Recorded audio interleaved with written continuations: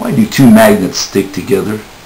What is this invisible aura that enables a magnet to attract something from a distance? The mathematicians call the magical substance that surrounds a magnet a field, formally defined as the presence of a quantity at every point in space. Quantum and classical mechanics insinuate that the mysterious halo that surrounds a magnet consists of discrete particles. Indeed, as a particle theory, quantum mechanics absolutely demands it.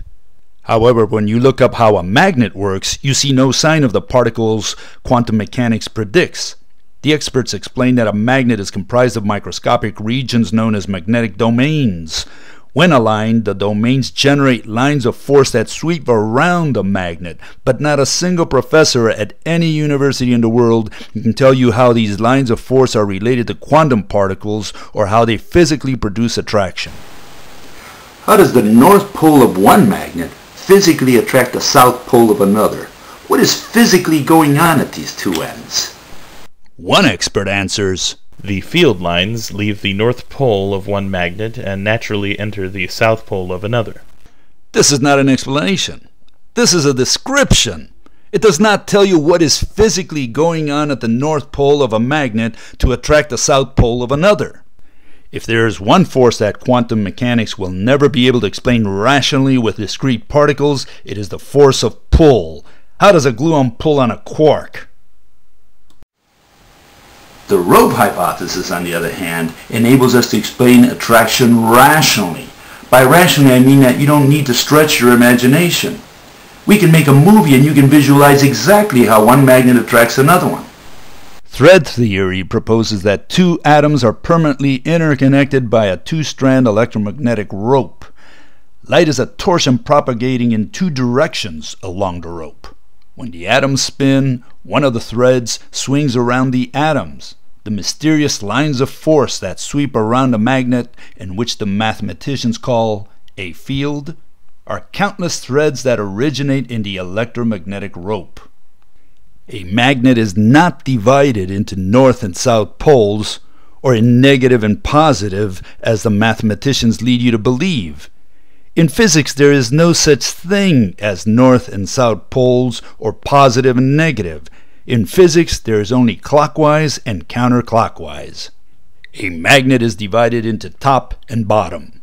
If the domains in the upper half of a magnet swing the threads clockwise, the bottom half swing the threads counterclockwise. Here we see a cross section of the lines of force swinging around a row of electron balloons which are bound together by their electric threads.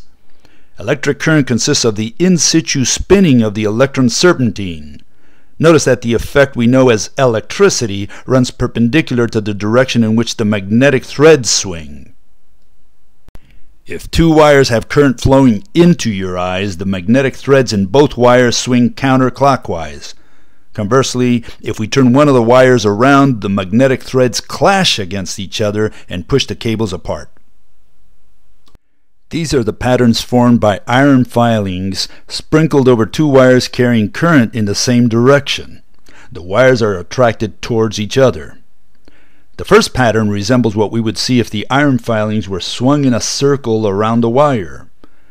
The second one is a figure 8 pattern. It is as if the iron filing here attempted to circle the wire on the left, but before it can do so completely, it is picked up by the second wire and swung around itself. Then, the iron filing is again picked up by the wire on the left and never manages to complete an orbit around one wire. The third pattern shows the iron filing circling both wires in an elliptical path.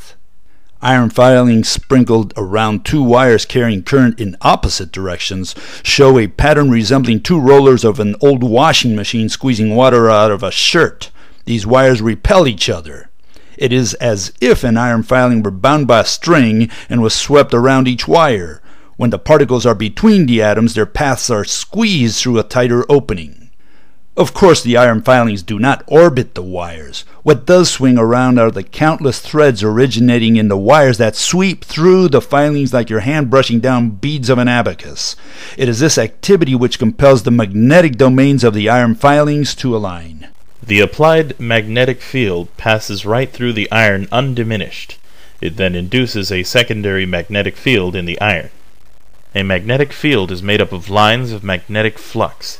If these lines of flux cut any metal object, a conductor, then a current is induced in that piece of metal. Let's take a live wire and fold it to form a U. Notice that the threads on the top and bottom part of the wire swing in opposite directions. If we continue to coil the wire, we have a solenoid. The magnetic threads at the top swing clockwise and those at the bottom swing counterclockwise. The aggregate of threads generates a force through the center of the coil. If we superimpose a magnet on our solenoid, we verify that the direction of the electron serpentine, the field, and the force are consistent with observation. The domains of a magnet are regions where the electron serpentines spin in the same direction. So what does all of this have to do with attraction? How does a magnet physically attract and repel another one? Let's first illustrate the mechanism in simple terms to understand the principle. There are two twins, Axel and Rod, who are skipping their respective ropes a little too close to each other. They are both facing in the same direction and swinging their respective ropes counterclockwise from your perspective. Their ropes interfere with each other. While Axel's rope comes down, Rod's rope goes up. Axel's rope pulls on Rod's rope and vice versa. Notice that the ropes scan the traction pattern we saw between two wires running current in the same direction. Now Axel turns around and swings his rope counter to Rod's. This time the ropes push each other away. We verify that the ropes describe the two rollers of a washing machine pattern we saw during repulsion. Let's extrapolate this mechanism to two magnets. The north pole of one magnet attracts the south pole of another because top threads spin clockwise while the bottom threads spin counterclockwise. The more threads that intervene in the process, the stronger the repulsion or the attraction. This explains why magnetic strength is a function of the distance between two magnets. If we turn one of the magnets in the top-bottom direction, we verify that nothing changes at the traditional north and south poles. The electron serpentines at the top, which run parallel to your line of sight, continue to swing the threads clockwise and the bottom ones counterclockwise. However, if we rotate one of the magnets in the traditional north-south direction, the direction of the top and bottom threads is reversed. The top threads of the magnet now spin counterclockwise, whereas the bottom threads spin clockwise. Consistent with experience, we verified the repulsion pattern developed between the two north poles that now face each other. After 80 years of quantum mechanics, the members of this religion cannot tell you what a field is, how the lines of force are related to particles, or how they produce attraction. They never will. There is absolutely no rational way to explain the force of pull with discrete particles. On the other hand, threads justify lines of force and explain attraction and repulsion. A magnetic field does not consist of particles as quantum mechanics would have you believe the particle hypothesis should once and for all be abandoned. There are no discrete particles in the universe.